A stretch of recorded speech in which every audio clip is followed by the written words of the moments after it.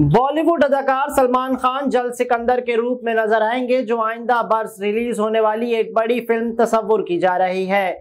जब से फ़िल्म से मुतालिक ऐलान हुआ है, इसके बाद सलमान खान के मदा फ़िल्म के बारे में जानने के लिए बेचैन है। तहम इससे मुतालिक हालिया पेशरफ यह है कि फ़िल्म की अक्सबंदी का आगाज़ गुजश्ता माह से हो चुका है। दूसरी जानब बॉलीवुड के सुल्तान सलमान खान ने 3 जुलाई को अपने सोशल मीडिया अकाउंट पर अपनी ताज़ा तस्वीर शेयर करके मदाहों में मजीद खलबली मचा दी।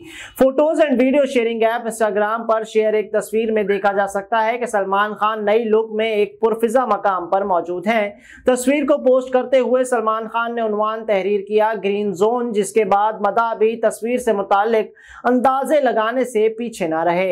एक सारिफ ने तहरीर किया कि सिकंदर आ गया है, जबकि एक ने तबसरा किया कि प्यारे से प्यारा भाईजान। इसी तरह एक सारिफ ने लिखा कि किंग्स खान, सलमान खान वाजे रहे कि 2014 की ब्लॉकबस्टर फ़िल्म किक के बाद से फ़िल्म सिकंदर साजिद नादियाद वाला और सलमान खान का पहला इश्तराक होगा।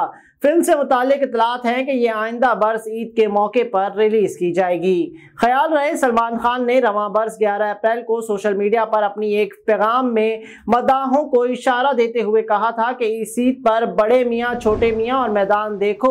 अगली ईद पर सिकंदर से आकर मिलो।